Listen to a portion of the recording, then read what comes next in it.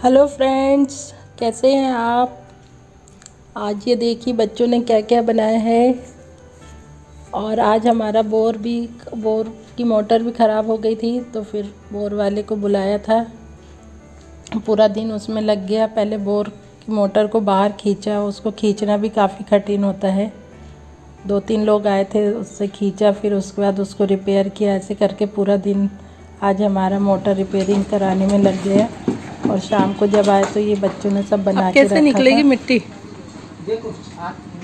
इसीलिए मैं वीडियो बना रही हूँ। अगली बार तो मैं नहीं बुलाऊँगी मैं अकेले ही कर लूँगी।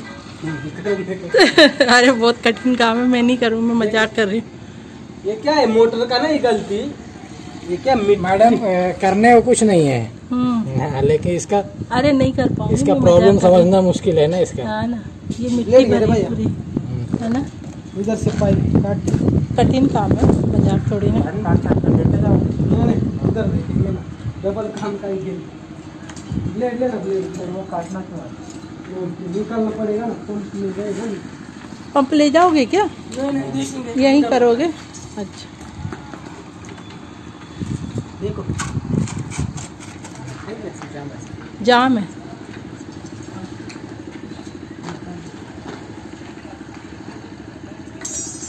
है इस बार वो डालने समय आया था ना तभी बताया था। मिट्टी का कोई गारंटी नहीं है।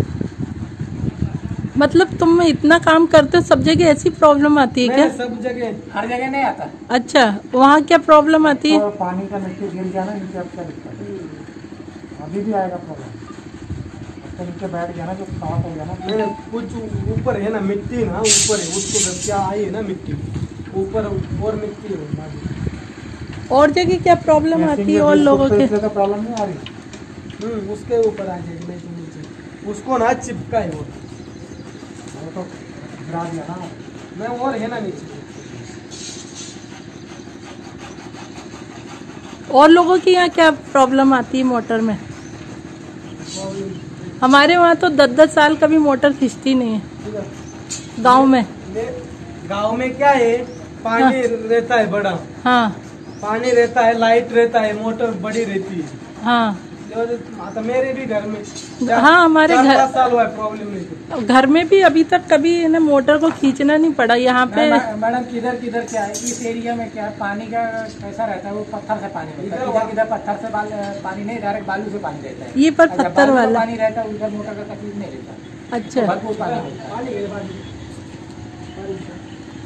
इसको धोना पड़ेगा ना। एरिया में क्या है?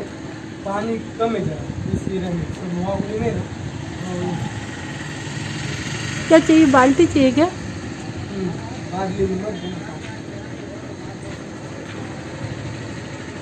भैया वो टंकी तो बहुत अंदर है पानी तो बहुत अंदर है उसका। ये वाली का पानी निकलेगा पर उसके लिए एक बर्तन चाहिए होगा। बाल्टी बाल्टी। ऊपर छत पे